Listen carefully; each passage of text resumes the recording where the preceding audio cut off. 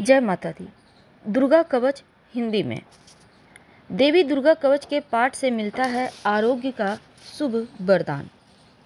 इस पाठ से शरीर के समस्त अंगों की रक्षा होती है। यह पाठ महामारी से बचाव की शक्ति देता है और यह पाठ संपूर्ण आरोग्य का सुवरदान भी देता है। अत्यंत गोपनीय पाठ है। इसे पूरी पवित्रता से किया जाना चाहिए। ओम नमश्चंडिकाय मार्कंडे जी कहते हैं, कि हे पितामह, जो इस संसार में परम गोपनीय तथा मनुष्यों की सब प्रकार से रक्षा करने वाला है, और जो अब तक आपने दूसरे किसी के सामने प्रकट न किया हो, ऐसा कोई साधन मुझे बतलाइए।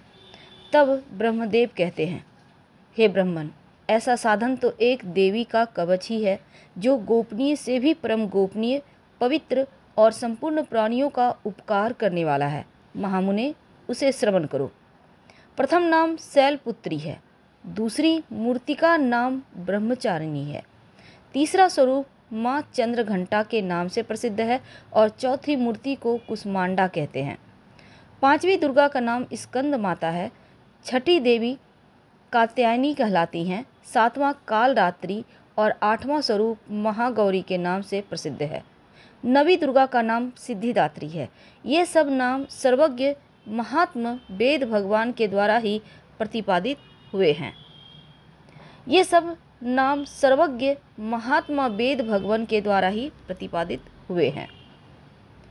जो मनुष्य अग्नि में जल रहा हो, रणभूमि में शत्रुओं से घिर गया हो, विषप संकट में फंस गया हो, तथा इस प्रकार भय से आतुर होकर जो भगवती दुर्गा की शरण में प्राप्त हुए हों, उनका कभी कोई अमंगल होता ही नहीं।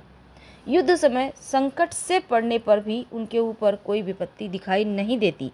उनके शोक, दुख और भय की प्राप्ति उनको नहीं होती। जिन्होंने भक्तिपूर्वक देवी का स्मरण किया है, उनका निश्चय ही अभ्युदय होता है। देवेश्वरी, जो तुम्हारा चिंतन करते हैं, उनकी तुम निसंदेह रक्षा करती हो।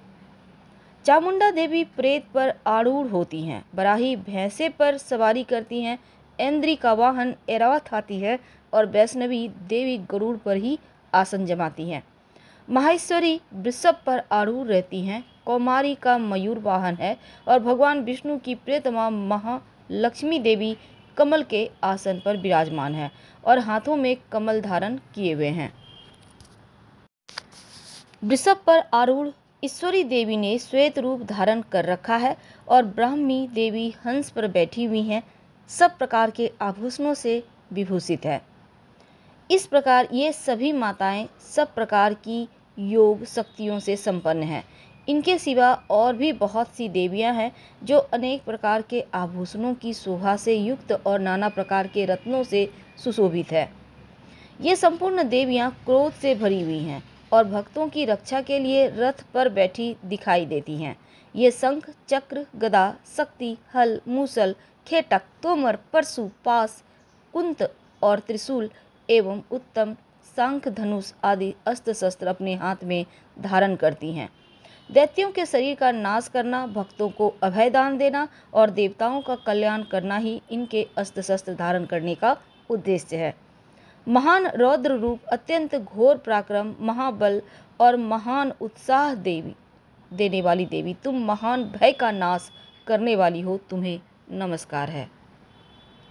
तुम्हारी ओर देखना भी कठिन है। शत्रुओं का भय बढ़ाने वाली जगदम्बिका मेरी रक्षा करो।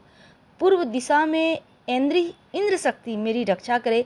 अग्नि कोण में अग्नि शक्ति दक्षिण दिशा में बराही और नेतृत्व कोण में खड्गधारणी मेरी रक्षा करे।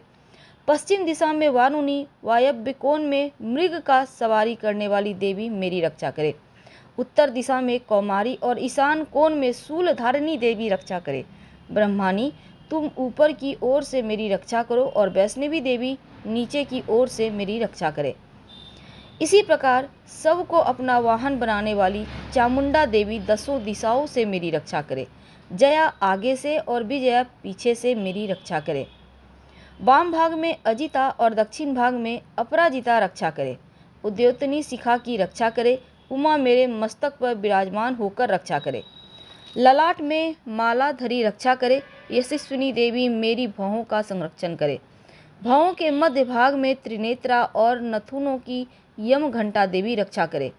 ललाट में मालाधरी रक्षा करे। यशस्विनी देवी मेरी भावों का संरक्षण करे।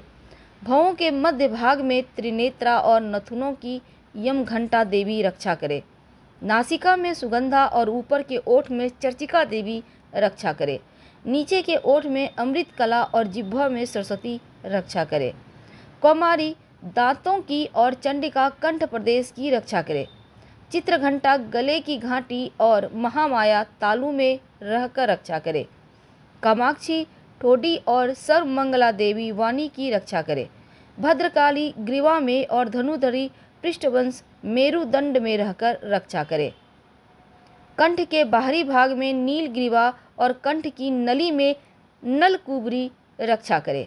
दोनों कंधों में खड्गनी और मेरी दोनों भुजाओं की वज्रधारिणी रक्षा करे।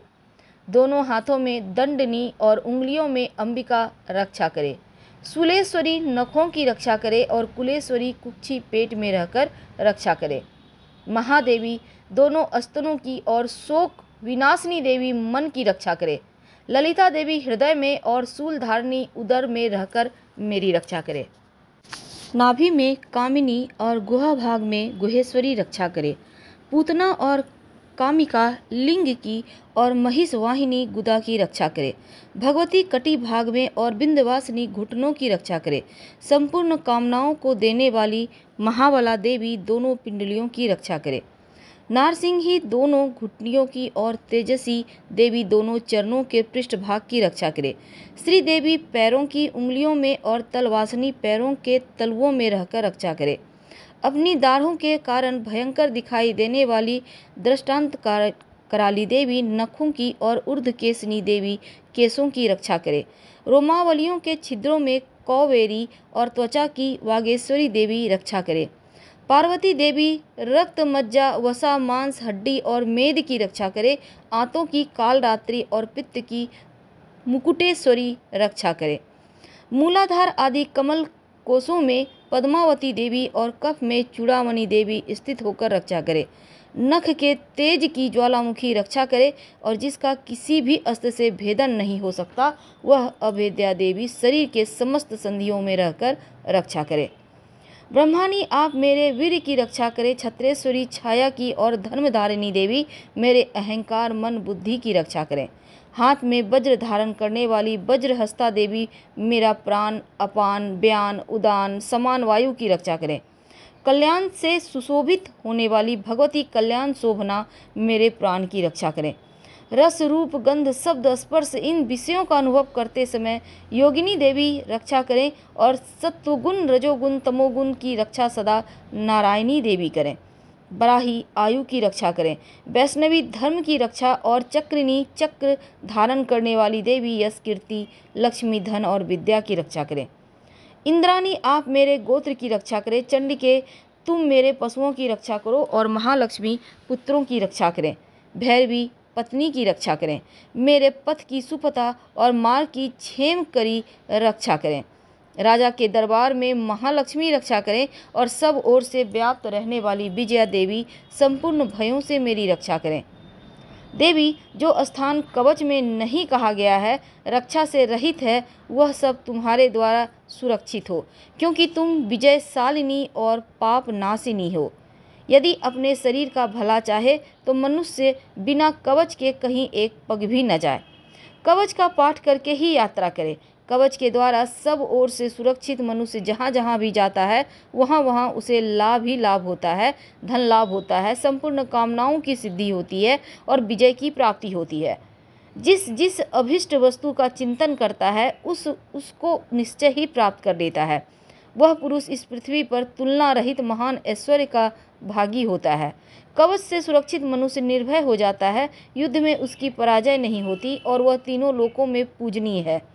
देवी का यह कवच देवताओं के लिए भी दुर्लभ है, जो प्रतिदिन नियम पूर्वक तीनों संस्थाओं, संध्याओं के समय श्रद्धा के साथ इसका पाठ करता है। उसे देवी कला प्राप्त होती है और वह तीनों लोकों में कहीं भी पराजित नहीं होता। इतना ही नहीं, वह अल्प मृत्यु रहित हो, सौ से भी अधिक वर्षों तक जीवित रहता है। मकरी, चेचक, कोड़ आदि उसकी संपूर्ण व्याधियाँ नष्ट हो जाती है। कनेर, भाँग, हफीन, धतूरे आदि का स्थावर विष, सांप, बिच्छू आदि के काटने से चढ़ा जमंग विष और अहिफेन और तेल के संयोग आदि से बनने वाला कृत्रिम विष, ये सभी प्रकार के विष दूर हो जाते हैं, उसका कोई असर नहीं होता। इस पृथ्वी पर मारन, मोहन आदि जितने आभिचारिक प्रयोग होते हैं, इस प्रकार के मंत्र यंत्र होते हैं, वे सब इस कवच को हृदय में धारण कर लेने पर उस मनुष्य को देखते ही नष्ट हो जाते हैं। यही नहीं, पृथ्वी पर विचरण करने वाले ग्राम देवता, आकाशचारी देव, विशेष जल के संबंध, प्रकट होने वाले गण, उपदेश मात्र से सिद्ध होने वाले निम्न कोटि के देवता अपने जन्म से साथ प्रकट होने वाले देवता कुल देवता माला, कंठमाला आदि, डाकिनी, साकिनी, अंतरिक्ष में विचरण करने वाली अत्यंत बलवती, भयानक डाकिनियाँ, ग्रह, भूत, पिचास, यक्ष, गंधर्व, राक्षस, ब्रह्म राक्षस, बेताल, कुष्मांड और भैरव आदि अनिष्टकारक देवता भी हृदय में कवच धारण किए रहने पर उस मनुष्य को देखते ही भाग जाते हैं। कवचधारी पुरुष को राजा से सम्मान, वृद्धि प्राप्ति होती है और यह कवच मनुष्य के तेज की वृद्धि करने वाला और उत्तम है। कवच का पाठ करने वाला पुरुष अपनी कीर्ति से विभूषित भूतल पर अपने सुयश से साथ साथ वृद्धि को प्राप्त होता है, जो पहले कवच का पाठ करके इसके बाद सप्तती चंडी का पाठ करता है। उसकी जब तक वह वन पर्वत कानूनों सहित यह पृथ्वी टिकी रहती है तब तक वहाँ पुत्र, पौत्र आदि संतान परंपरा बनी रहती है। देह का अंत होने पर वह पुरुष भगवती महामाया के प्रसाद से नित्य परम पद को प्राप्त होता है, जो देवताओं के लिए भी दुर्लभ है। वह सुंदर दिव्य रूप धारण करता है और कल्याण शिव के साथ आनंद का भागी होता है। इति देव्या कवचं संपूर्णम। हर हर महादेव। प्लीज़ लाइक कर सब्सक्राइब करें। धन्यवाद।